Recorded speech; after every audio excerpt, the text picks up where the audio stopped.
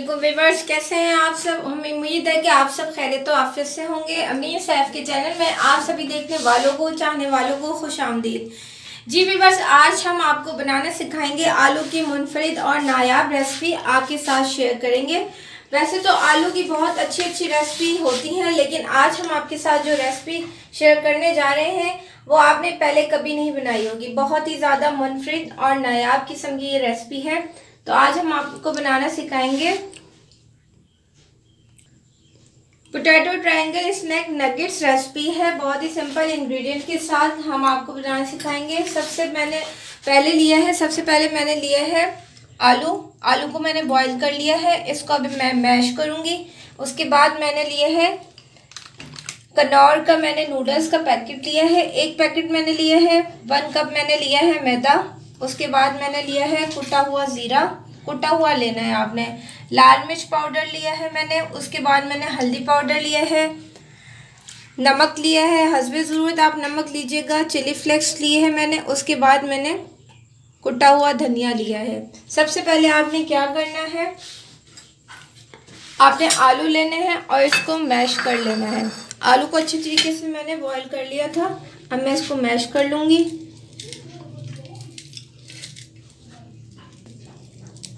इंतहाई आसानी से बन जाती है ये रेसिपी और ये बच्चों को बहुत ज़्यादा पसंद होती है। इवनिंग स्नैक के तौर पे ये यूज़ किया जाता है। आलू को बहुत ही एहतियात और अच्छी तरीके से आपने मैश कर लेना है। देन इसके अंदर सारे मसाले ऐड होंगे।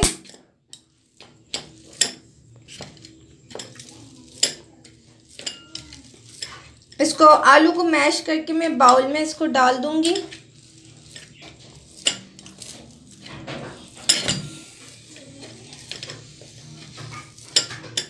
बहुत ही यमी और टेस्टी ये बनती है।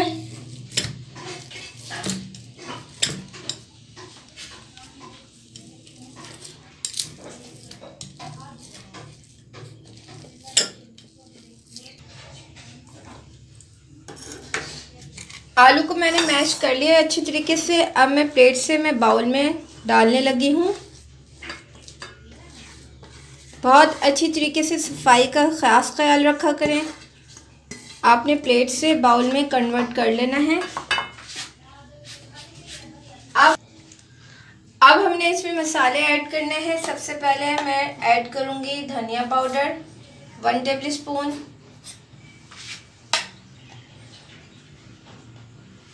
कुटी लाल मिर्च, नमक हसब ज़रूरत, हल्दी पाउडर, हाफ़ टेबल स्पून लाल मिर्च पाउडर और ज़ीरा। कुटा हुआ ज़ीरा आपने ऐड करना है। अच्छी तरीके अच्छी तरीके से हाथ की मदद से इसको मिक्स कर लेंगे तमाम मसाले को। आपने इसमें पानी बिल्कुल ऐड नहीं करना। हम इसमें ऐड करेंगे मैदा। मैदा या कॉर्नफ्लावर आप ले सकते हैं। जो चीज़ आपको इजीली अवेलेबल हो, या आप बेसन भी ले सकते हैं, लेकिन मैंने लिया है मैदा।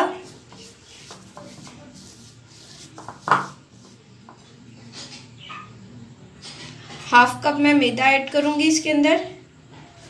हाफ़ कप हमारा यूज़ होगा। बाद में आपको बताती हूँ किस चीज़ के लिए यूज़ होगा।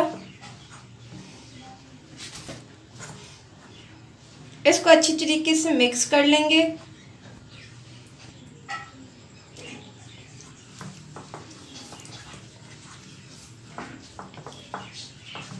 इसको अच्छी तरीके से मिक्स कर लूँगी देन आपको बताऊँगी कि नेक्स्ट स्टेप हमारा क्या होगा।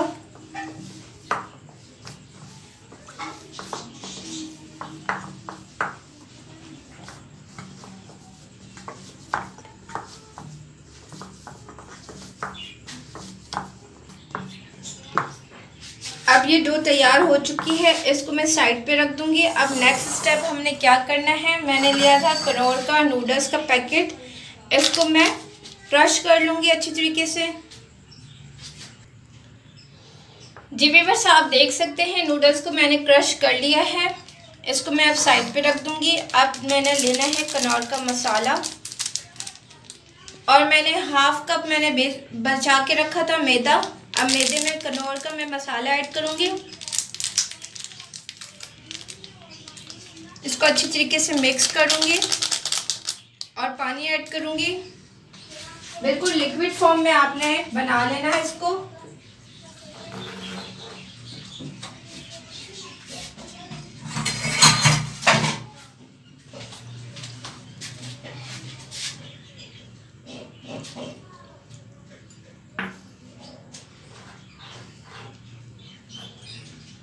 मज़ीद पानी ऐड करूँगी।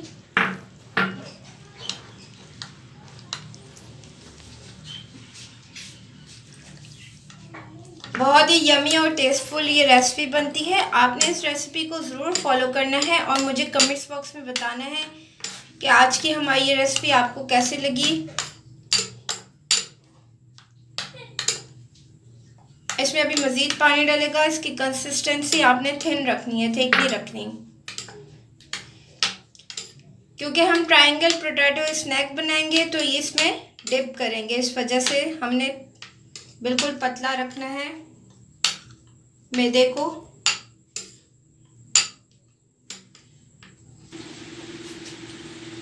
जी बस अब हमने आलू को उठाना है।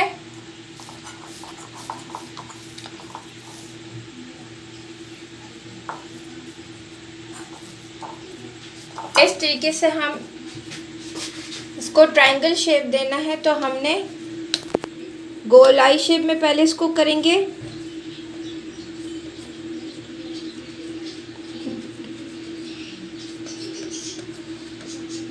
देन रेक्टेंगल शेप में इसको करके अब हम काटेंगे ट्रायंगल शेप में इसको।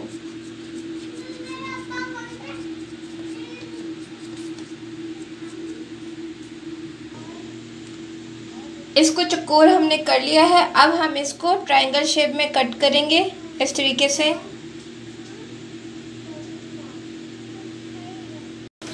जी बस हमने ट्रायंगल शेप में इसको कर लिया था। अब हम ये जो डो तैयार किया था हमने मैदे का, इसमें डिप करेंगे। देन हम क्रम्स लगाएँगे। क्रम्स लगा के आगे नेक्स्ट स्टेप आपने ऑयल में इसको फ्राई कर देना है। लाइट ब्राउन होने तक इसको फ्राई करेंगे। और ये बहुत ही ज़्यादा यमी और टेस्टी इसका लुक है। और बहुत ही ज़्यादा जल्दी ये बन जाते हैं।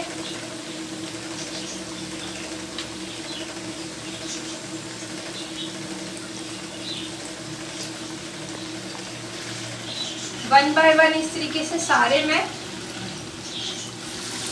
पोटैटो ट्रायंगल स्नैक्स बनाती रहूँगी।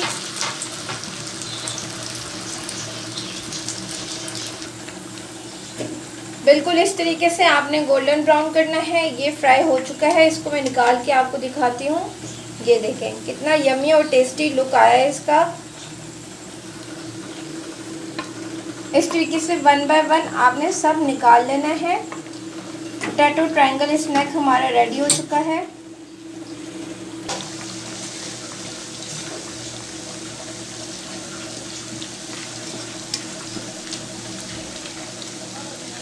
आपने साइड पलटते रहना है साथ साथ ज़्यादा ब्राउन ना हो जाए।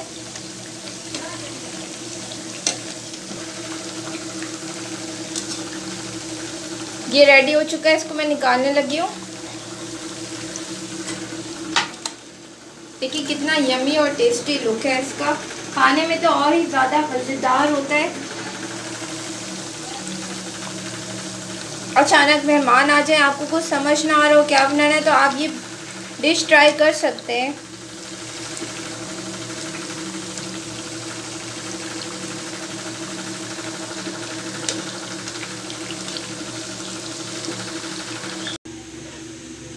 जी बस आप देख सकते हैं ट्रायंगल शेप में मैंने ये बनाए हैं पोटैटो स्नैक अब मैं कुछ राउंड शेप में बना रही हूँ।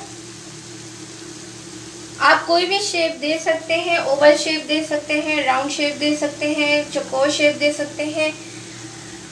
बहुत ज़्यादा अट्रैक्टिव लगती है ये शेप्स और बहुत ही ज़्यादा मज़े की स्नैक हमारी रेडी हो चुकी है। इसको भी मैं निकाल लूँगी फाइनल रेडी हो चुकी है हमारी पोटैटो ट्रायंगल स्नैक हमारी रेडी हो चुकी है। अब मैं इसको ट्रे में निकाल लूँगी देन टिश्यू पेपर के ऊपर निकाल लूँगी इसको।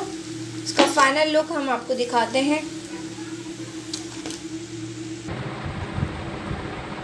जी बस फाइनल लुक देख लीजिए, बहुत ही ज़्यादा मज़ेदार यमी और खुशबूदार हमारा potato snack potato triangle snack ready हो चुका है। आज आप हमें बताइए कि आज की हमारी वीडियो आपको कैसी लगी। अमरीन सैफ के चैनल को अगर आपने सब्सक्राइब नहीं किया तो प्लीज़ अमरीन सैफ के चैनल को सब्सक्राइब कर लीजिए। वीडियो पसंद आया करें तो ज़रूर लाइक और शेयर का बटन प्रेस किया करें। स्पेशली थैंक यू उन फ्रेंड्स का जो मेरी वीडियो को देखते हैं प्रॉपर चैनल को लाइक करते हैं सब्सक्राइब करते हैं और कमेंट्स भी करते हैं. Thank you so much for all of you my friends दुआओं के साथ अमरीन साहब को दीजिए इजाज़त. जहाँ रहें, खुश रहें शादोबाद रहें. अल्लाह हाफिज़.